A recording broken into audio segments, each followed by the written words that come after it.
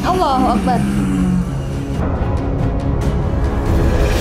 Bandara diisrapkan sama kanjeng Sunan dengan ilmu tauhid.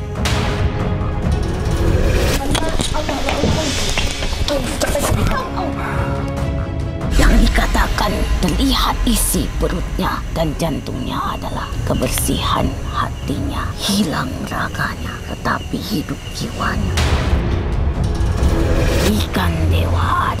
Salah satu perwujudan dari dewa-dewa. Kesucian tanpa keikhlasan tidak akan terwujud. Air tak dapat kau genggam, tapi jadilah wadah bagi air.